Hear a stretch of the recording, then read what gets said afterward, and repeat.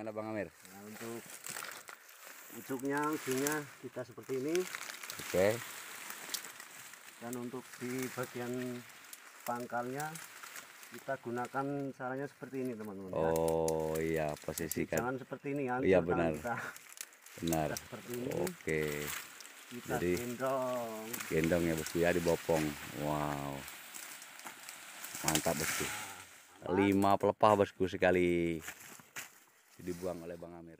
Oke bosku. Ini penampakan daripada eh, batang sawit ya.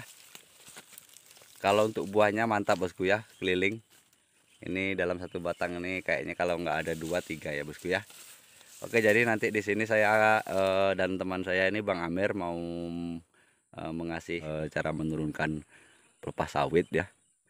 Nah, cara membuangnya juga karena dalam penurunan pelepah sawit itu ada teorinya yang harus eh, dilakukan.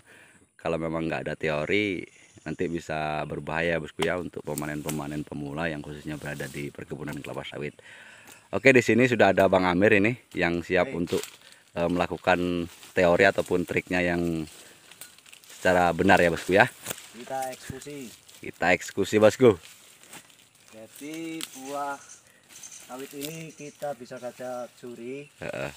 kita turunkan tanpa menurunkan pelepah tapi berhubung pelepahnya ini sudah kering ya bosku berfungsi sudah Heeh. dipotong-potong kita turunkan saja pelepahnya. Iya.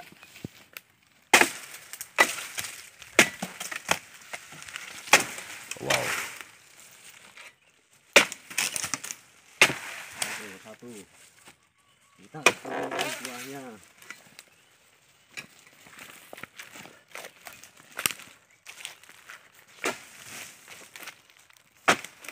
wow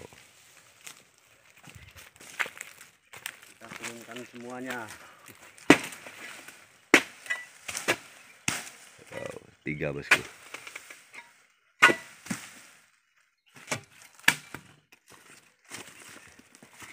kita nggak pakai gantu bos pakai apa.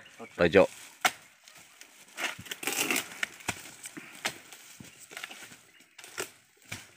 eh kita turun Melakukan. kita lanjut pembuangan pelepah ya Hmm. kalau kita buang satu persatu kayaknya agak Lama ya bosku ya.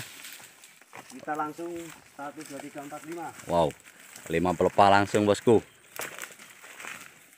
ini caranya begini kita ambil ujung-ujungnya dulu Oke, kita tarik ujung-ujungnya dikumpulkan jadi satu ya bosku ya.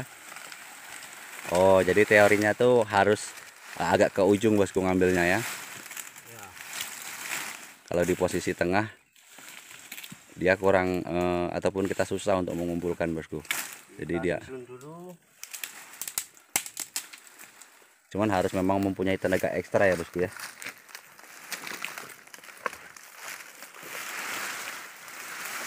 ini hanya untuk di lahan yang sudah bersih ya kalau di lahan yang semak mungkin tidak bisa Karena banyak yang nyangkut ya bosku. nah, ini tidak termasuk semak dan untuk caranya pengambilan di bagian pangkalnya kita simak sini Oke bosku, kita mendekat bosku. Gimana Bang Amir? nah untuk ujungnya ujungnya kita seperti ini Oke.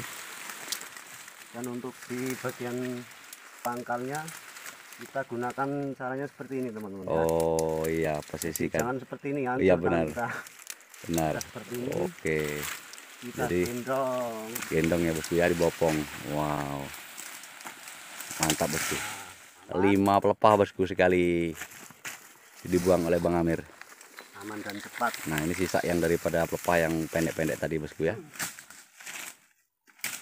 Bagi baru yang belajar panen sawit. Atau yang belum beker, belum pernah kerja sawit. Itulah teorinya. Dan untuk pem- pemikulan buah seperti ini. Wow. kita taruh di sini. Wow, berarti multifungsi bosku ya.